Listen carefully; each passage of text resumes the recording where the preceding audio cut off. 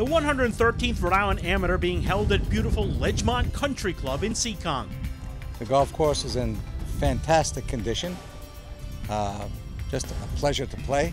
Dr. George Perry, a former winner, and is thrilled with his opening round 77 in an attempt to advance to match play. Well, I've got uh, vertigo, and I had two different kinds of vertigo at one time. So, uh, very difficult to even swing. It's been five weeks. So, just to be out here to even swing is an accomplishment. So, my goal was to break 80, and I shot 77 numerous former winners looking to add another Rhode Island AM title to the resume, like Bobby Leopold, who had the great tee shot on the par 3 15th, and he would make the birdie.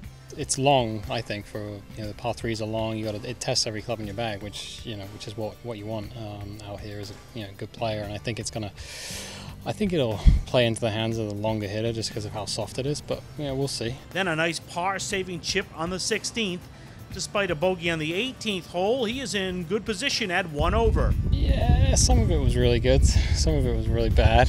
Um, but, you know, it's hard when it's the first two rounds. You know, you're kind of just trying to plod along and not make any mistakes, see where your game's at, and then wait for match play to really, you know, get it going. But I felt like I played, yeah, probably nine good holes and nine bad ones. Despite a bogey on the 18th hole, he is in good position at one over.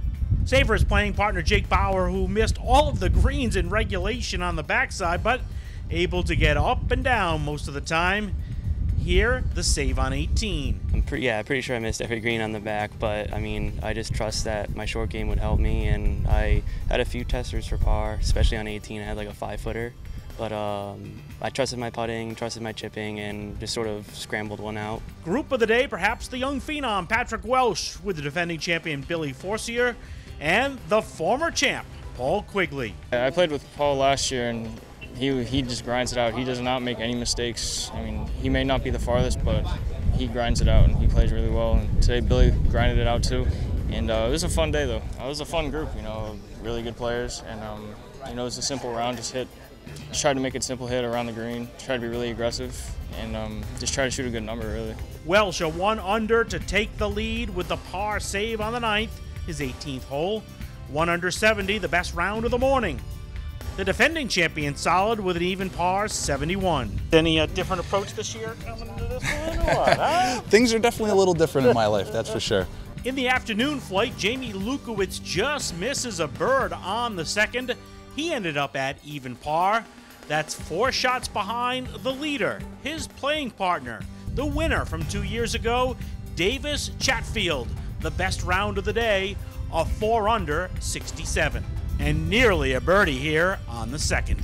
Chatfield a one shot lead on Matt Broom and two shots on Tyler Cook. Welch, three back. Of course, the goal just to make match play, but some looking for medalist honors on Tuesday. Kind of want to be the number one seed. It's not really normal that for a number one seed to win, and I just thought that it'd be a good goal for me to do that. Medalist doesn't always win and doesn't tend to win. So, uh, not that you don't want it, you just you know you'd rather be you know second or third.